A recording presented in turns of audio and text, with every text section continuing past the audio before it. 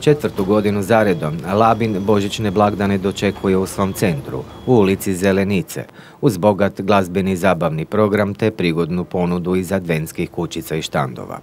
Cijelokupni program ovogodišnjeg Božića u Labinu kreće u četvrtak 19. prosinca od 17 sati, kada nas kao uvertira u prvu večer očekuju nastupi vokalnih solista i glazbenika, te polaznika glazbenih i plesnih radionica. Od 20 sati na glavnoj pozornici svoj nastup održat će labinski kantautor Diego Zulijani i Laguna Band.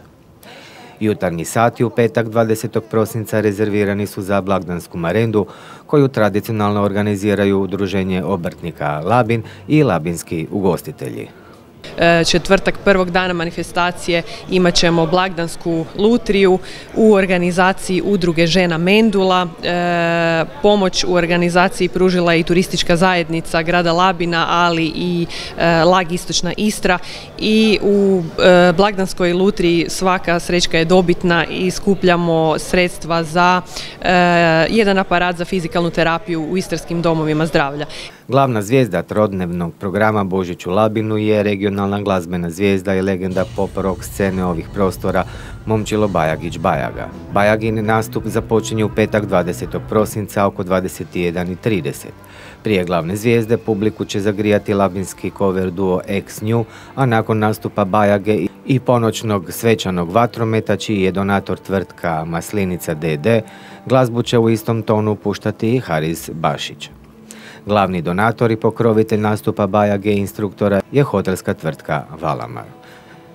Subotnje jutro pripada najmlađima. Od 10 sati glumačka skupina Pulskog teatra Naranča priprema predstavu Božićna bajkovnica te brojne prigodne radionice poput kuhinje Bake Mraz, Rudolfove likovne radionice ili oslikavanja lica te fotografiranje sa djedom Mrazom. Glavni donator dječjeg jutarnjeg programa je tvrtka Karel Adriatik. Kroz cijelo će jutro centrom Labina voziti vlakić Djeda Mraza. U subotu 21. prosinca u večernjim satima očekuje nas tribute band atrakcija Croatian Pink Floyd Show.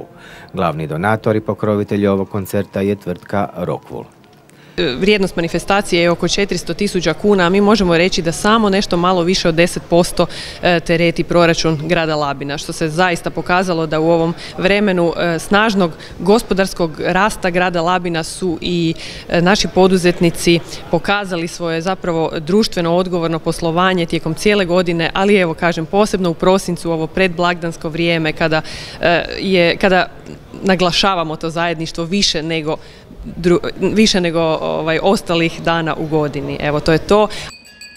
Zbog održavanja manifestacije Božić u Labinu od srijede 18. prosinca u 9 ujutro do nedjelje 22. prosinca u 17 sati biti će kao i prethodnih godina zatvoren promet dijelom ulice Zelenice od kružnog toka kod osnovne škole Matije Vlačića do skretanja za Rudarsku ulicu.